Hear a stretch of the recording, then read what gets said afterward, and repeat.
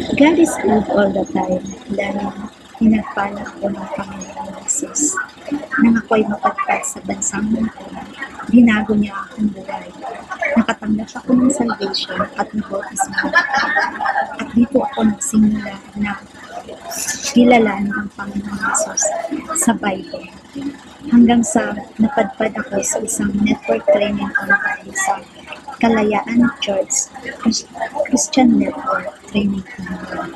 At napalaki, napakalaking tulong po sa akin dahil marami po akong natutunan nang mabasa ko ang New Testament.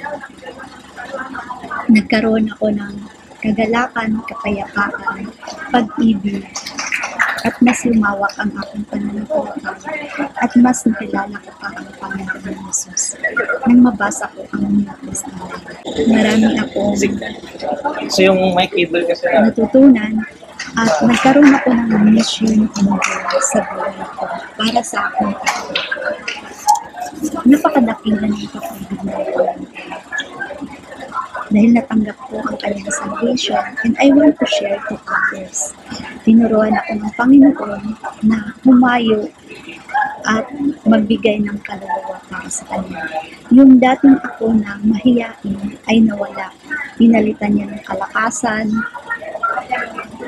karunungan, wisdom and knowledge dahil na rin sa tulong ng Kalayaan Church Christian Network Training Program.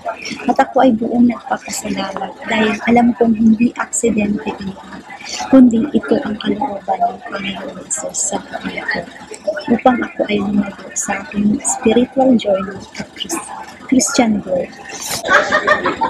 Natuto akong lumayo at i-share ang kanyang salita, ang kanyang salvation para sa iba.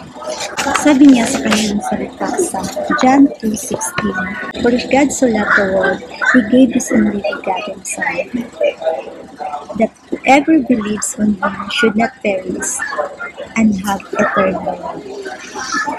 Napakaganda ng na siyang tumatak sa aking isipan. And to God be all the glory, honor and praises for things before. Ako po si Doris Oracion, OFW ng Melbourne, at naging membro ng KCNM Online Network Training.